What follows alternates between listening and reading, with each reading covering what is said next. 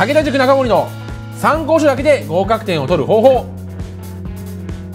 はいそれでは今回は東京学芸大学の生物基礎生物の勉強について話していきたいと思います。えー、学芸大学理科の選択があって基礎科目と発展科目あのそれぞれ1個ずつ選択する。もしくは基礎科目2個、まあ、これはあの専攻によって変わりますがが選ぶ形となっております。でどちらも大問は3つ。で、えー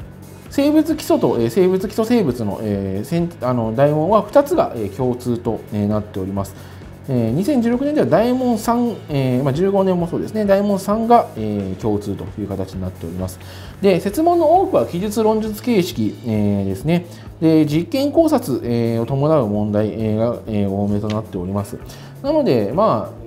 基本的にはやはり論述対策とあとそこかあの問題文から読み取って、え、記述するという練習、え、が重要となってきますただ出てくる問題そのものは、まあ、あの生物基礎のテーマがそもそも生物基礎生物の方でも題目2つ、えー、重なっているという時点、えからでも分かってもらえると思うんですがそれほど、え、難易度が高いものが出るというよりは、まあ、ちゃんとした基礎の正確な理解及び記述論述ができるか、え、っていうこの面がちゃんとできているかどうかが試される問題が多くなっております。